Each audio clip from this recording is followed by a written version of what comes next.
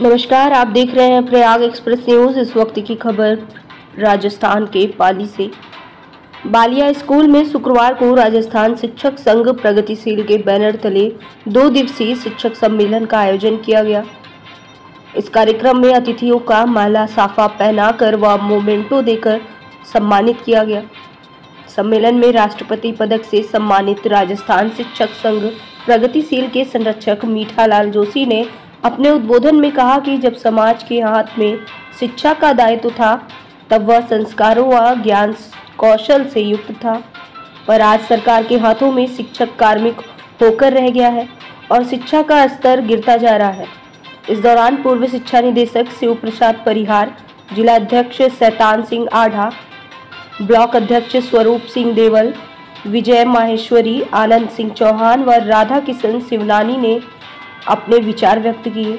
इस कार्यक्रम में संरक्षक मीठालाल जोशी, तखतगढ़ जिला अध्यक्ष सैतान सिंह आढ़ा, पूर्व जिला अध्यक्ष गिरधारी सिंह राजपुरोहित, वरिष्ठ उपाध्यक्ष आनंद सिंह चौहान, विजय माहेश्वरी, स्वरूप सिंह देवल राधा किशन शिवनानी, धर्मेंद्र तारानागर, हमिला शर्मा, जमीला मेवाती, महेंद्र कुमार, मालम सिंह, घनश्याम सिरवी, हीरालाल सहित कई शिक्षक मौजूद रहे। प्रयाग एक्सप्रेस न्यूज़ के लिए राजस्थान से संवाददाता प्रकाश जोशी की रिपोर्ट।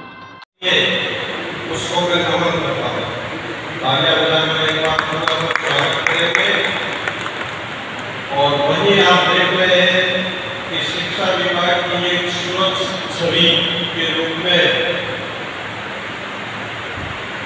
शिक्षा विभाग को दिया छात्र और विद्यालय हित के अंदर सदैव रहे समर्पित रहे। और आज भी मीडिया के माध्यम से, अखबार के माध्यम से या ग्रुप के माध्यम से आप जो है, सुर्खियों में रहते हैं। हम कहेंगे हमारे संसद नियम श्री विजय सिंह जी हमारे विरोधी है, आपका बहुत बहुत आगे अभिवादन वंदन करते हैं आपने वास्तव में इस संगठन को जो आज के राजस्थान शिक्षक संघ के बारे में क्या कार्यक्रम है, इसकी जानकारी दें आप। बासठवा जिला शैक्षिक सम्मेलन, राजकीय बालिका उच्च उच्च माध्यमिक विद्यालय बालिया स्कूल में आज आयोजित होने जा रहा है। मुख्य अतिथि के रूप में हमारे एडिशनल डायरेक्टर बीकानेर निदेशालय के सेवानिवृत्त श्री प्रसाद जी परिहार आदरणीय गिरधारी सिंह जी राजपुरोहित, राज्य स्तरीय सम्मानित हमारे वरिष्ठ उपाध्यक्ष आनंद सिंह जी चौहान के सानिध्य के अंदर जो है, हमारे पाली देहात के अध्यक्ष स्वरूप सिंह जी साहब जो है, ये सम्मेलन का आयोजन करवा रहे हैं। बहुत ही सुंदर सी व्यवस्था दिख रही है। इस दो दिवसीय सम्मेलन के दौरान शैक्षिक नवाचारों पर विचार और मंथन और चिंतन किया जाएगा, जिसमें वर्तमान समय के अंदर